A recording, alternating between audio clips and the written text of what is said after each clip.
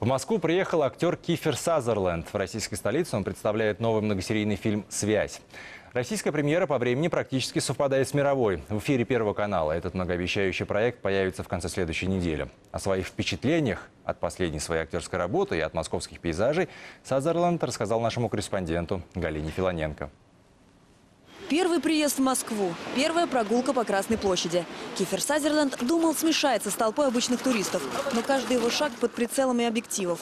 Журналисты не отпускают ни на минуту, буквально оттесняют меховых шапок и матрешек. На сувенирные шахматы голливудский актер смотрит почти с детским восторгом. Игра – лучший способ отдохнуть после съемок.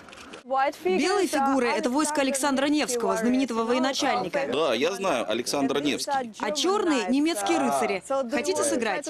Но я хочу быть Александром Невским. Хорошо, поменяемся. Нет, давайте вы начинайте. Гроссмейстер в кино снимается интеллектуальным. Чудаковатый спецагент в знаменитом «Твин Пиксе» Дэвида Линча. Который час, Стэнли?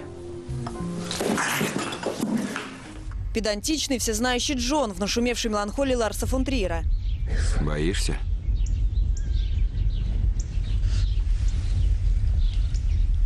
Нет, она такая... Такая дружелюбная. Да, да. Работа с Ларсом отличается от всего, что я когда-либо делал в жизни. Говорят, он бывает жесток с актерами, но на самом деле он верит в них, и поэтому выжимает из них все, на что они способны. Я, кстати, съел вашу пешку. Через пару ходов выясняется, шахматы – самое безопасное увлечение Кифера Сазерленда. После съемок фильма о ковбоях так увлекся Родео, что бросил на время Голливуд. Я и еще трое ковбоев сели в грузовик и колесили по разным городам, участвовали в соревнованиях, диких лошадей укращали. А потом я опять вернулся в кино и понял, что очень соскучился по этому тоже порой сумасшедшему миру. В мир кино канадский актер вернулся через американские сериалы. Несколько лет в проекте «24 часа» спасал мир, завоевывая многочисленные телевизионные награды и любовь зрителей. И так устал от популярности своего героя, что обещал больше в сериалах не сниматься. Но новый сценарий изменил его мнение. Мне очень понравился мой герой в сериале «Связь». Отец-одиночка, который изо всех сил пытается установить контакт со своим сыном-аутистом. Но ребенок не разговаривает и не проявляет никаких эмоций. Только все время пишет какие-то странные числовые комбинации.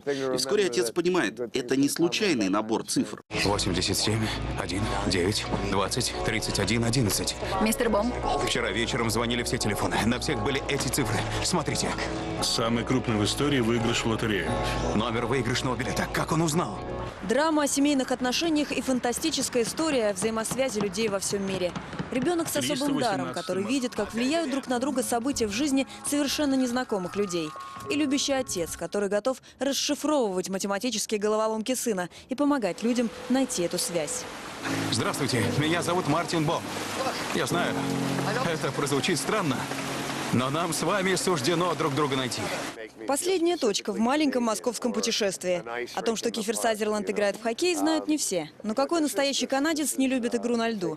У нас приятная миссия – передать подарок звезде кино от звезды хоккея. это российская хоккейная форма. О, фантастика.